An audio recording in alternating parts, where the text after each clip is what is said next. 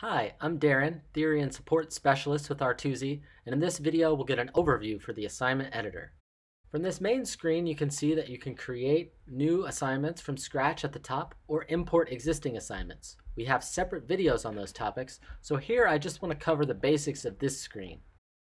On the left hand side of the screen we have the familiar hamburger icon, which allows us to drag to reorder our assignments.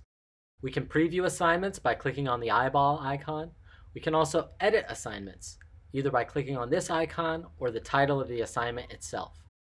You have the option of copying assignments if you would like to use one as a basis for a future assignment. You can also delete an assignment entirely from your course. The start date is the point at which students can begin working on an assignment. And then your end date is essentially your deadline, the point at which students are no longer able to work on the assignment. The final column shows us the assignment status.